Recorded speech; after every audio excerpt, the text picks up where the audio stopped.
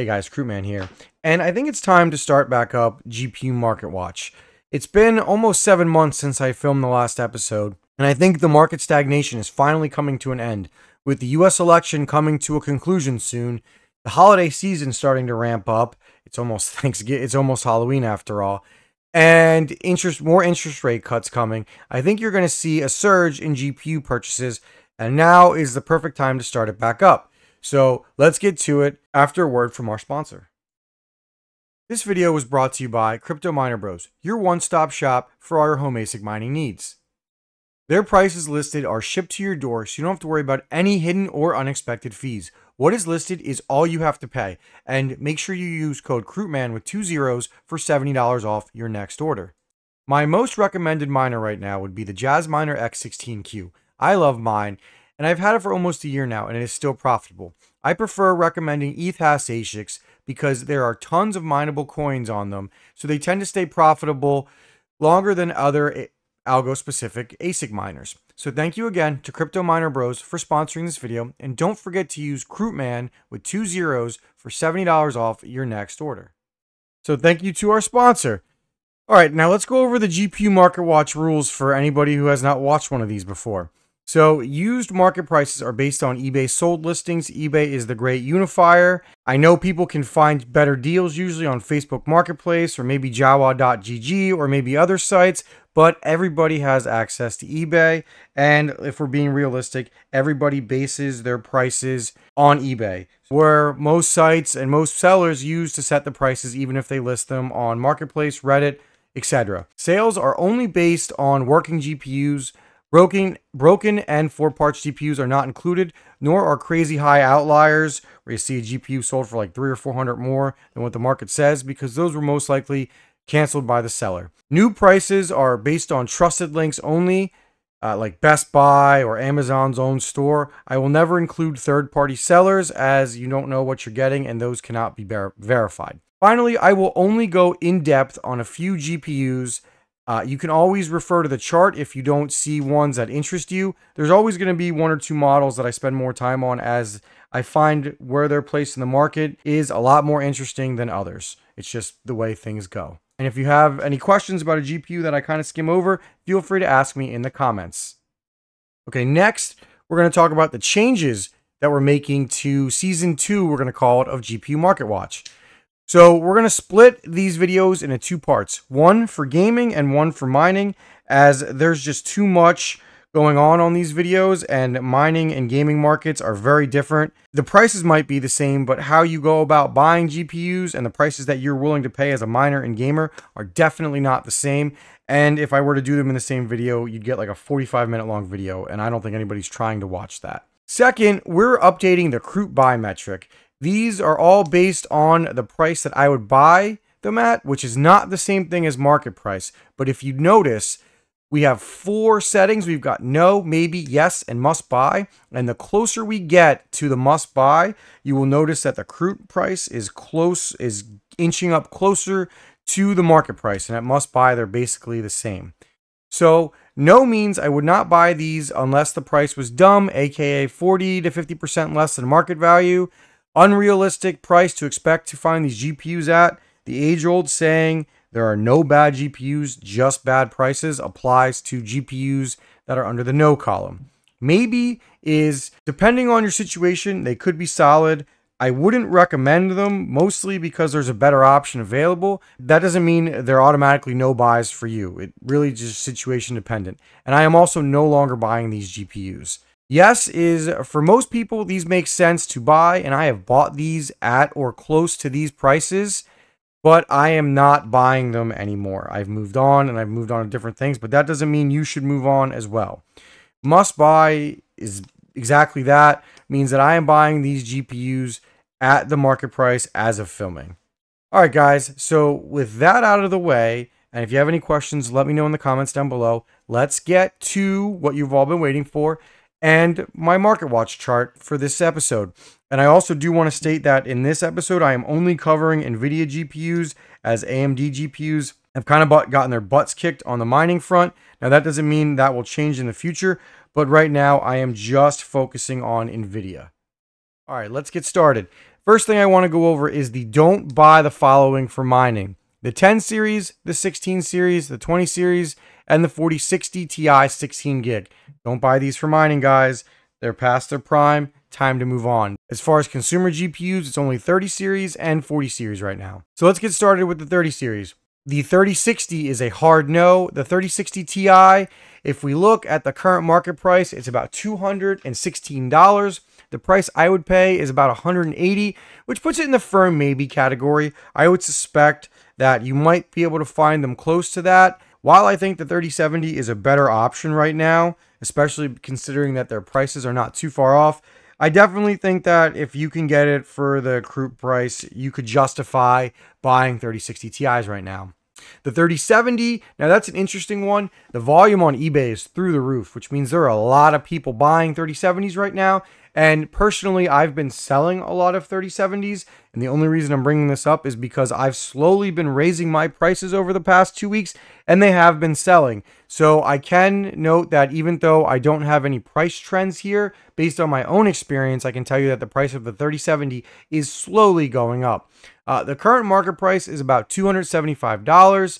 The price I'd pay is about 200. Now I know there's a far price gap there, but I think even at like 250 to 260 bucks, you could justify buying these because I definitely think as a miner, even in six to eight months, there's probably a good chance you can sell them for what you paid. And that's an important aspect to consider when buying these. So they're a firm yes for me. And I think they're worth considering. Now, you know, I would definitely try to get them south of 275. And while the price is moving up, it's not going through the roof. Like we're talking maybe like 10 bucks or so each week, which isn't a deal breaker in my opinion. Now let's move on to the 3070 Ti. Uh, the market price is about $316. The price that I would pay is about 220 and I would definitely not go any higher than that only because they're just at least they're just a less efficient 3070 and 3070s can be had plenty now. Uh, unless a memory algorithm really kicks into high gear, which maybe it could happen, I would probably still recommend the 3070, which leaves the 3070 Ti in the maybe category. Now, the 3080 to 3090 Ti are all strictly no's. The 3080 and the 3080 Ti are just not good miners anymore.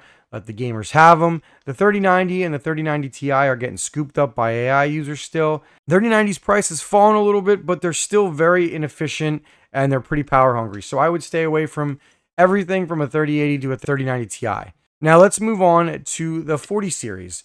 Now the 4060 is and always has been a firm no. I would just stay stay away from it.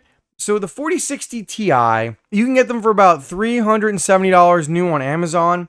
Their market price has definitely dropped in the last year. I only know this because I bought a bunch of them around you know, I, I probably paid between 360 340 to 360 you know i didn't i didn't sell mine. I actually traded them in because i didn't think i could get as good of a value as i would have liked for them. And it ended up working out because i traded them for cmp 100 to 210s i don't think i would buy these things i mean they're good on Aleo Leo kind of changed things for them they were definitely a solid no buy before Aleo makes them a maybe if you can get them for like 280 bucks, I would consider it. I would definitely not pay any more than $300 for them, which leaves them firmly in the maybe category. The 4070, while it's not a bad GPU, and if you can get them at about $400, they're worth considering. For me, it's a firm no right now because if you compare them to, say, the 4070 Ti and the 4070 Super, which are yes and must buys respectively. I just don't think they're worth buying.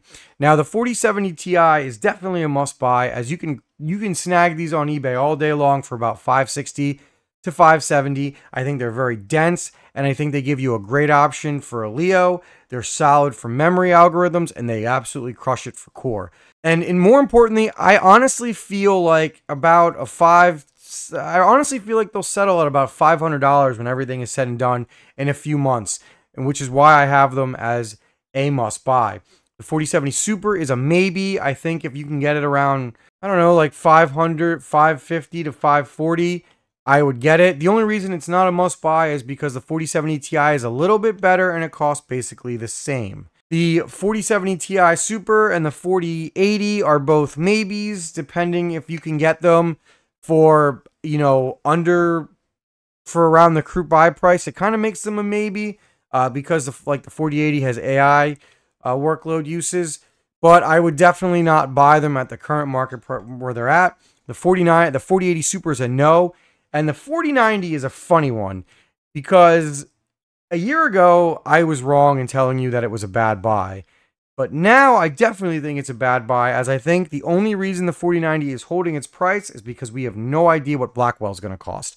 I think Blackwell, if the price is anywhere near what a 4090 will MSRP's at, like anywhere from 16 to 1800, I think it's going to kill the price of the 4090. You're going to see the 4090 drop in price, maybe. Now that's just that's a maybe. Right now they're super popular for AI rentals, and if you notice on eBay, there's a lot more buyers sell it, listing them for sale, than there is being sold, which means buyers want a lot of money for the, or which means sellers want a lot of money for their 4090s, and buyers don't want to pay it, and neither one of them are budging because everybody wants to see what happens with Blackwell. If Blackwell costs $2,500, then all of a sudden these 4090s are going to be a great buy. So if you were to buy them right now for like 14, 1500 bucks, you're you're basically betting that the price of Blackwell is going to be really high.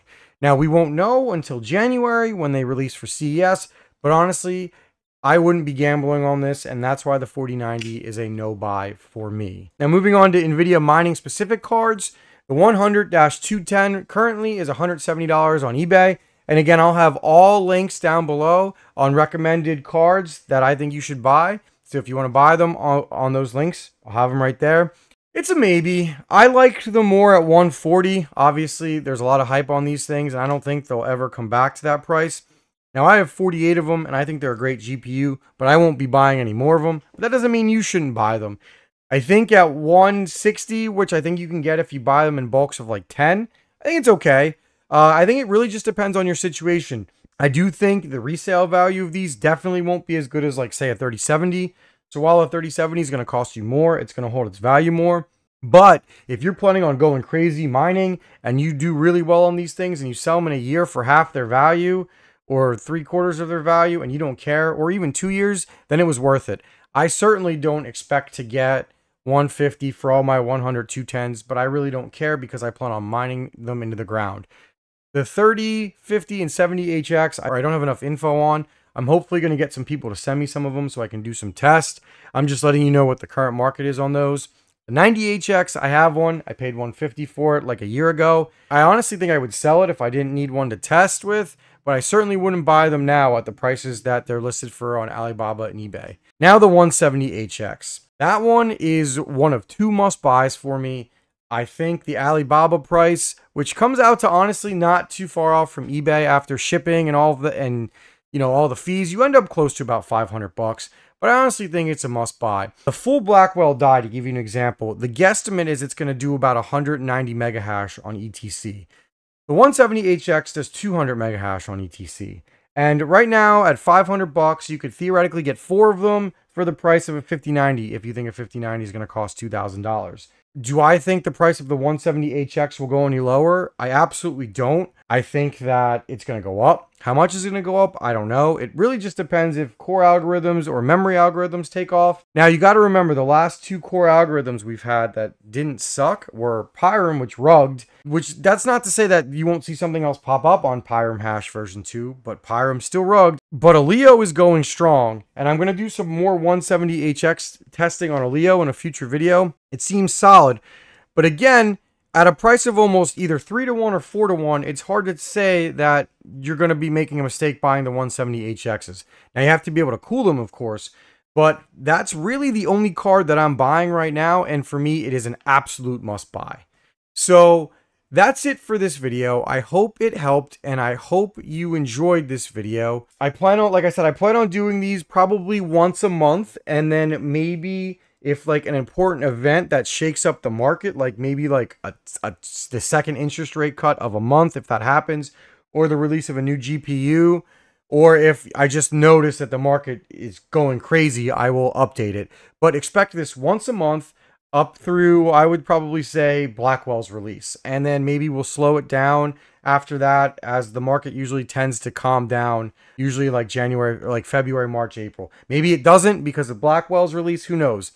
But that's it for this one. Thank you for watching. Thank you to our sponsor. Please like and subscribe. Please follow me for more of these videos, and I really hope they help. If you guys find any really good deals or you think there's something I'm missing, please let me know in the comments.